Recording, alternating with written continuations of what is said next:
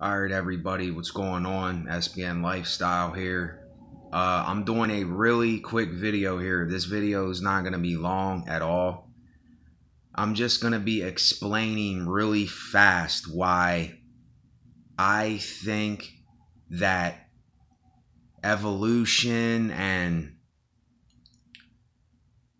other ideas that certain men have told us may have happened or has happened, why I just think that they are false. And when I say these things, I'm not coming at you as an individual, I'm just coming at the idea of these things.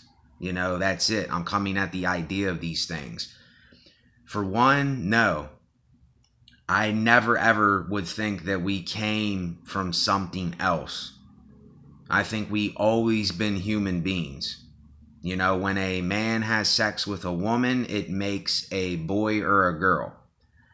Um, dinosaurs, when dinosaurs were around, they became extinct because something made them extinct. Something killed them off, and then the littler things survived because they didn't need as much food. And then the fossils that we see, those became extinct for some reason too, but they were always what they were. You know, I don't think that they came from something else or evolved over time. You know, I don't think anything ever evolved. Um, and like Neanderthals, all that quote Neanderthals, they labeled these things as that, and then they tried to make us believe it. But all that a Neanderthal, quote Neanderthal, is to me is a person or an ape with a deformed skull. That's all it is. And then they said, oh, look, here's the proof that we evolved from apes or something. I, I just think it's ridiculous. And Charles Darwin, he was the one that came up with this concept that things evolved. And, you know, over time, this happened, you know, like this thing slowly turned into this thing. No, no, I don't I don't go for that. And I don't see here's where I stand in my life and it's really weird. I don't call myself or label myself as anything. I'm not religious. I don't have a belief system. I don't call myself a spiritual teacher.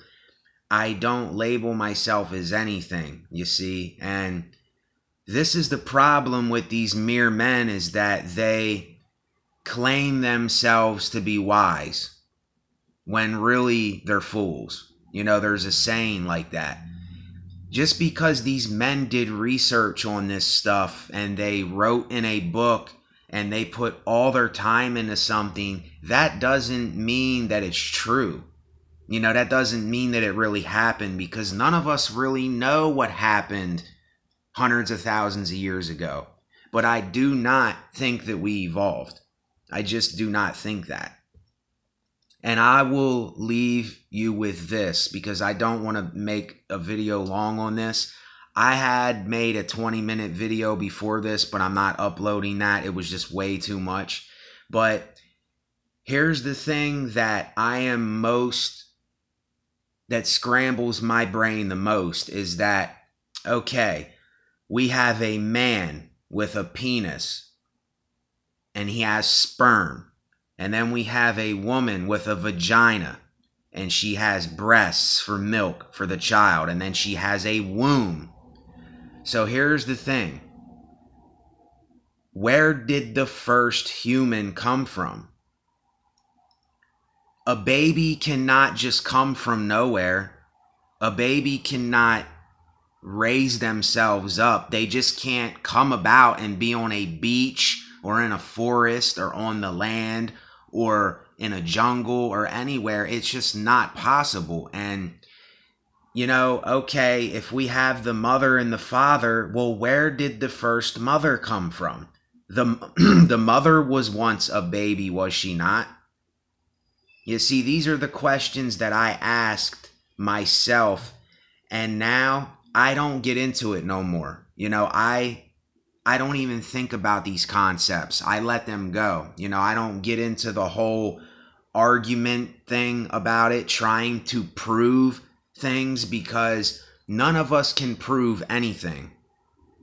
We just can't prove anything. But for me to think that we just came about like an accident or something and like a man just has a penis that goes into a vagina and then it ha- then it ejaculates and then it the sperm goes into the egg and then it makes a, a little egg and then that develops into a child over time from the mother's womb.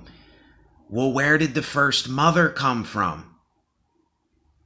You see where did the first man come from? See this this is this is something that no one can wrap their minds around and you may not be understanding completely what I'm saying here. If you go the whole way back to the very beginning, whatever the beginning is, it's like maybe there is a creator that brought this about.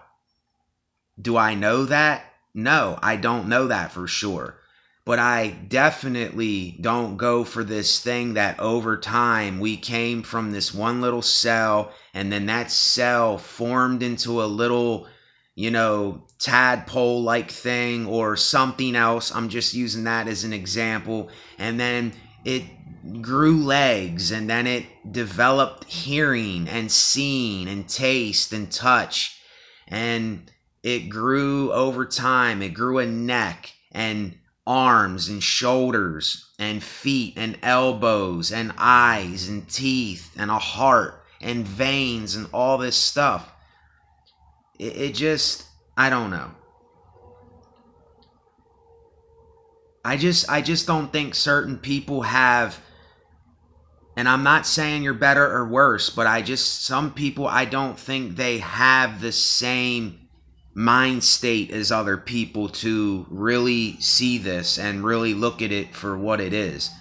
Because I go back to this whole thing with where did the first person come from? Really, really think about this. You know, a baby just can't come into the world, it needs the nurturing of the mother. It needs the mother's breast milk or it needs food. It needs someone to take care of it. It cannot come up on its own. So, where was the first father and mother for the first baby? You see, it doesn't make sense. If the baby can't grow up on its own, who was there for the baby when it first came about? See, this is why it's I just can't wrap my mind around it. You know, um it's kind of like the only conclusion that I can come to is that we were created. But on the other hand, see, I, I don't know. It's really weird. I'm in a really weird spot with this because I'm not religious and I'm not so many of these labels that people put to other people but yet I just can't go for these things that men have made up or claimed to know. And then these belief systems that we have. It just it's just putting us in a circle and it's making us think that we know things that we really don't and I, I don't know. I don't know what I can even call myself because it's like, man, we had to have been brought up from a designer or something. You know, that's the only conclusion that I can really come up with. But yet I don't believe in God. You know, um, if there is a God, then God is God. You know, I don't. I don't sit here and drive myself crazy trying to think of who God is or what God is or why God allows the things that God allows if God is really real. But uh the whole evolution thing was just a concept made up by a man a long time ago in the 1800s, Charles Darwin, and then people believed what he said.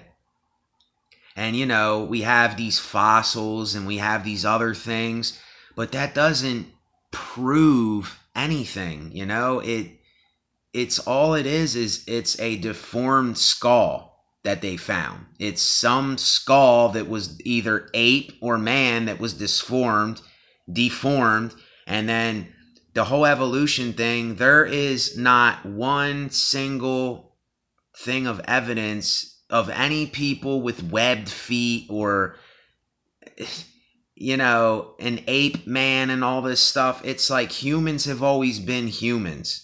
And like people in Russia that've been in the cold, they never developed extra hair on their body to protect their body. They always been humans. They, they has, have always been the same as you and I, with the same arms, the same hands, the same everything. They're no different. You know, just because they live in a cold region, nothing has changed about their body. Just because people that live in the hot climates, they didn't develop some kind of mechanism in their body to cool themselves down. They're humans. When they get hot, they overheat and they can die of a stroke or something else. You know, we always been humans. When a man has sex with a woman, he has a boy or a girl. When an ape has sex with an ape, it has an ape. You know, when a lizard mates with a lizard, it has another lizard. You know, it doesn't uh, form other limbs and grow other things, you know. Um, and and like I said, I don't want to make an argument or try to prove anything, but I let that concept go a long time ago. I, I just don't get into it no more because it really gets us nowhere, really. It gets me nowhere. And uh, if that's something that someone is interested in, you know, you can do research on stuff but believe nothing, question everything is my motto. Believe nothing, question everything. Because right when you believe something, then you are saying, oh, this is what I believe now. And I'm not, I don't have any room for common sense or logical thinking or reasoning or understanding of reality. You see, you you hold on to that pride and ego when you say, I believe in this thing. And I'm not saying that you do, but that's why I say let go of all beliefs. Let go of all religions. Let go of all of these strongholds and these standards and all that stuff because all it does is it just keeps your mind thinking of more what is the answer? What is the answer? There's no proof. What's the proof? You know it'll kind of drive you nuts. So that's why i don't even really get into it no more. And i i really didn't want to make a video on this but that's okay because i know a lot of people you know they may not understand that these are only concepts that were brought up by other men by mere men like you and i. And people automatically believed it and you see how, how I say beliefs are can be dangerous. They can get you into trouble. And that's why I would say don't believe in anything. Go by the facts, go by reality, go by what is in the now. You know, that's what I would say. So that's just a little bit of of that. You know, there's a lot more stuff that I could talk about. I'm not going to get too deep into it. So that's it for that. That's my view on that. So thanks for watching later on. SBN Lifestyle.